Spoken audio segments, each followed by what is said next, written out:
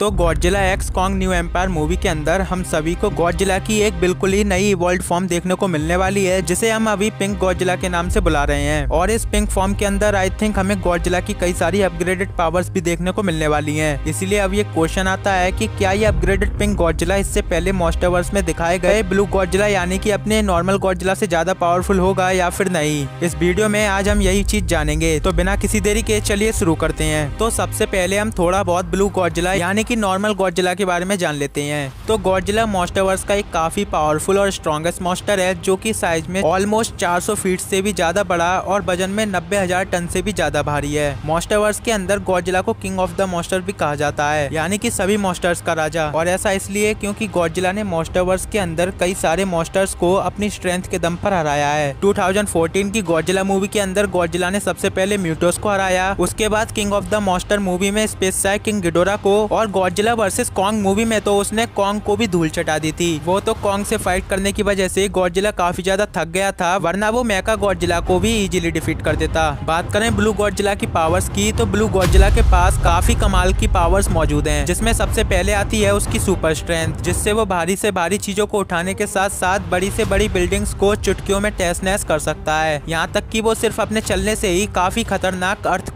को भी प्रोड्यूस कर सकता है। और इतना ही नहीं, बल्कि गॉडजिला मोस्टरवर्स के अंदर स्ट्रेंथ के मामले में कॉन्ग को भी पीछे छोड़ चुका है। लेकिन इसके अलावा गॉडजिला की बॉडी भी बहुत ही ज़्यादा डोरेबल है। मोस्टावर्स के अंदर गॉडजिला ने अभी तक कई सारे पावरफुल अटैक्स के साथ साथ दो पावरफुल न्यूक्लियर बॉम्ब को भी सर्वाइव किया है, जहाँ उसने सबसे पहला न्यूक्लियर बॉम्ब 1954 में सर्वाइव किया था और दूसरा king of the monster movie में। और इससे भी ऊपर king of the monster movie में तो गॉडजिला ने स्पेस से आए किंग गिडोरा की ग्रेविटी बीम को भी सर्वाइव कर लिया था, जो की किसी भी मोस्टर के लिए आम बात नहीं है। मोस्टर वर्स के अंदर जितने भी मोस्टर्स मौजूद है उनमें से ज़्यादातर मॉन्स्टर रेडिएशन के थ्रू ही ज़िंदा रहते हैं और गॉडजिला के साथ भी ऐसा ही है। गॉडजिला के पास जितनी ज़्यादा रेडिएशन होती है उसकी पावर्स भी उतनी ज़्यादा इंक्रीज हो जाती है। और King of the Monster movie में हमने देखा भी था की मूवी में गॉडजिला के हद से ज़्यादा रेडिएशन को एब्जॉर्ब करने की वजह से वो बर्निंग गॉडजिला में ट्रांसफॉर्म हो गया था। और बर्निंग गॉडजिला में ट्रांसफॉर्म होने के बाद उसने अपने थर्मोन्यूक्लियर पल्सेस से किंग गिडोरा को जलाकर मार दिया था। और किंग गिडोरा को मारने के बाद ही गॉडजिला मॉन्स्टरवर्स के अंदर किंग ऑफ़ द मॉन्स्टर बना। बात की जाए ब्लू गॉडजिला के स्पेशल अटैक, यानी उसके एटॉमिक ब्रिथ की तो ब्लू गॉडजिला जब भी किसी मॉस्टर को स्ट्रेंथ के दम पर हरा नहीं पाता, तब वो उस मॉस्टर को हराने के लिए उसके ऊपर अपने इस पावरफुल अटैक एटॉमिक ब्रिथ का यूज़ करता है। ब्लू गॉडजिला की एटॉमिक ब्रिथ इतनी ज़्यादा पावरफुल है की इसका एक ही अटैक किसी भी मॉस्टर्स को जलाकर मारने के लिए काफ़ी है। और 2014 की गॉडजिला मूवी में गॉडजिला ने अपने इसी अटैक से म्यूटोस को हराया था।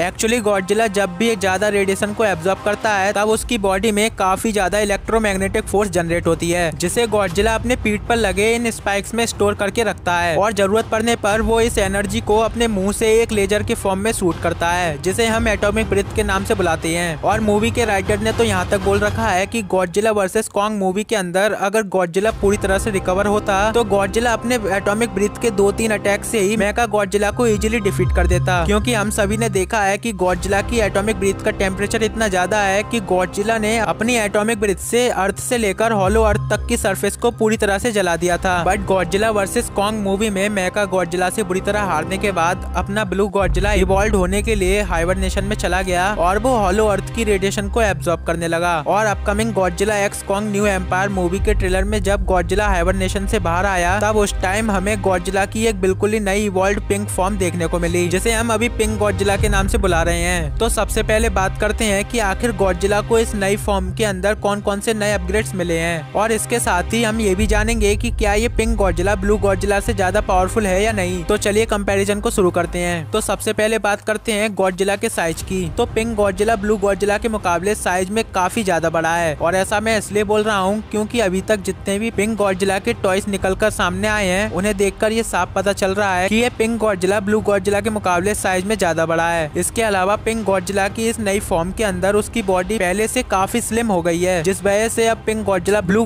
गॉडजिला के मुकाबले ज़्यादा फास्ट मूवमेंट कर सकता है। और ट्रेलर के अंदर हम साफ़ देख सकते हैं कि कैसे पिंक गॉडजिला कॉन्ग से भी ज़्यादा फास्ट दौड़ रहा है। और अगर आपने नोटिस किया हो तो हमने पहले कभी भी गॉडजिला को मोस्टरवर्स के अंदर इस तरह भागते हुए नहीं देखा, क्योंकि ट्रेलर के अंदर पिंक गॉडजिला बिल्कुल इंसानों की तरह दौड़ रहा है। इसके अलावा गॉडजिला के दूसरे अपग्रेड की बात करें तो वो अपग्रेड मिला है उसके हाथों को। मोस्टरवर्स के अंदर हमने देखा है की ब्लू गॉडजिला के जो दोनों हाथ थे, वो काफ़ी ज़्यादा छोटे थे, जिस वजह से ब्लू गॉडजिला अपनी फाइट्स में उनका यूज़ काफ़ी कम करता था। बट इस पिंक फॉर्म के अंदर हमें गॉडजिला के हाथों को पहले से काफ़ी ज़्यादा बड़ा दिखाया गया है। और ये चीज़ हम ट्रेलर में काफ़ी अच्छी तरह देख भी सकते हैं कि गॉडजिला के हाथ अब बिल्कुल ही मेका गॉडजिला की तरह काफ़ी ज़्यादा बड़े हैं, जिस वजह से अब गॉडजिला अपने हाथों का यूज़ अपनी फाइट्स में कर सकता है। और अगर आपने नोटिस किया हो तो पिंक गॉडजिला को उसके ज़्यादातर अपग्रेड्स मेगा गॉडजिला से ही मिले हैं। और ऐसा शायद इसलिए क्योंकि मेगा गॉडजिला से बुरी तरह हारने के बाद ब्लू गॉडजिला को अपने डिसएडवांटेज का पता चला होगा। और हाइबरनेशन में जाने के बाद उसने अपने इन सभी डिसएडवांटेज को अपने एवोल्यूशन में दूर कर दिया। इसके अलावा बात करें पिंक गॉडजिला के स्पाइक्स की तो हम सभी को पता है कि गॉडजिला के पास जितने बड़े स्पाइक्स होंगे, वो उतनी ज़्यादा रेडिएशन को एब्जॉर्ब करके एटोमिक ब्रिथ को सूट कर पाएगा।